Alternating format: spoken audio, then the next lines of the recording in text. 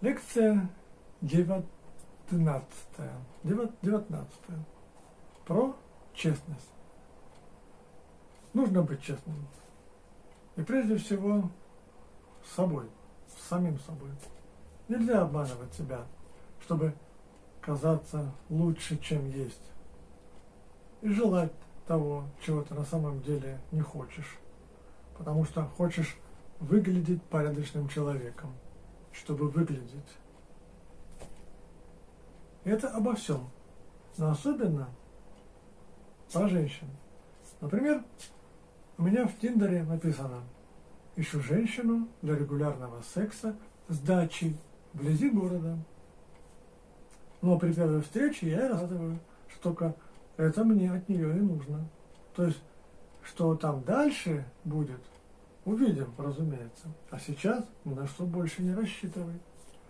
А когда встречается женщина, которая тоже не обманывает себя, но и меня, то вот тогда что-то и получается. Когда она не говорит мне, я бы хотела опору, защиту и надежность, любовь, врет, на тысячу процентов врет, чтобы выглядеть. А вот если она говорит, что хочет бухать и веселиться, лежать на диване целыми днями и не работать, то ей можно верить. Ну, некоторым. Мужчинам именно это и нужно. Я, например, однажды встретил такую, которая хотела рисовать картины маслом. И секс с ней тоже был настоящим. Это вообще величайшее заблуждение.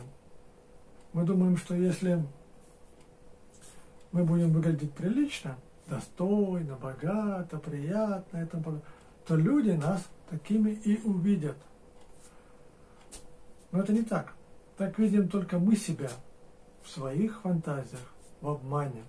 Когда другой человек видит лишь то, что хочет увидеть, но и может, соответственно. Именно поэтому и выдуманы все эти общие нормы, морали, поведения, культуры, этикета,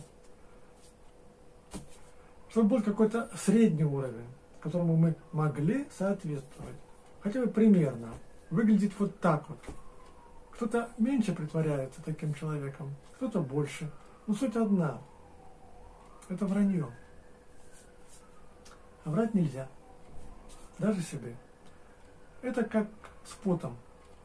Если ты допускаешь, чтобы от тебя пахло потом, хотя бы чуть-чуть, то рано или поздно начнет вонять. Даже если ты вылишь на себя литр парфюма. Нужно помыться, а не врать себе, что ты не воняешь.